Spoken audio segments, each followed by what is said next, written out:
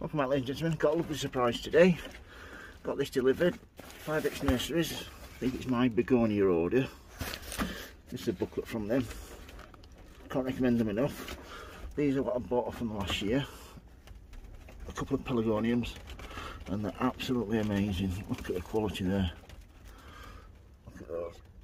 So what I'm going to be doing now, just a quick unboxing video. Let's have a look what's inside here, shall we? And we're potting them on here so we can get this sorted. That's about right. Yeah. Oh, best time of year this. I absolutely love it. Get my little one.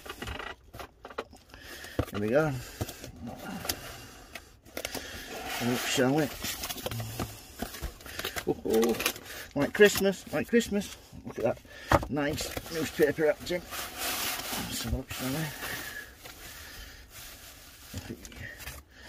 Right, that can go in the bin, the recycling. What we got in here? There's one. That is, see that? Mrs. McLaughlin. McLaughlin, oh, I don't know how to pronounce it. Anyway, I've run these before and they're really good, really good quality. As you can see there, just started.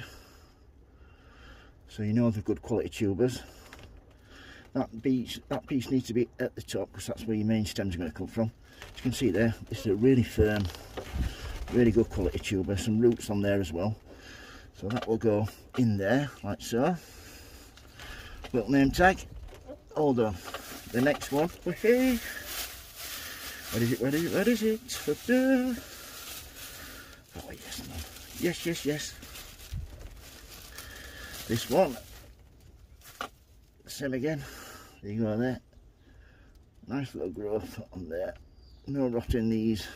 Good quality. You see where the main stem grew last year. Nice and dry where it needs to be. Roots coming through already. So same again with this one. So easy. Just in the middle like so. Not cover it. Just, just leave them. Just the tips are sticking out. And that is Whispers. Anyway, I can't remember ordering that, but I will have done. There he comes Fibrex Nurseries. There's all the instructions. I'll just get the, uh, so if you don't get any, everything's there for you. I'm not going to bother reading it all out.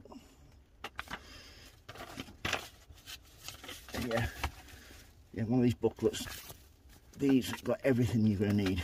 Pelargoniums, begonias, these all ferns, and uh, a head, hedera as well. Look at the ferns there. Yeah, pelargoniums and lovely begonias, absolutely brilliant begonias. Look at those, absolutely love them.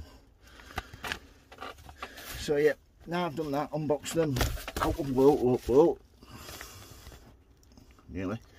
I've unboxed them. I shall give them a quick water on top. You don't want to, you don't try not to water the uh, on top of the tuber just all the way around and then I'll put them in a tray of water to soak for an hour and take them out. And then they shall go in my little heater propagators and these little under my grow lights. So yeah if you've got any questions regarding any of my plants especially these begonias don't hesitate to ask. If you like the videos folks please subscribe and remember happy sowing happy growing Thank you for watching everybody and please keep safe. Bye.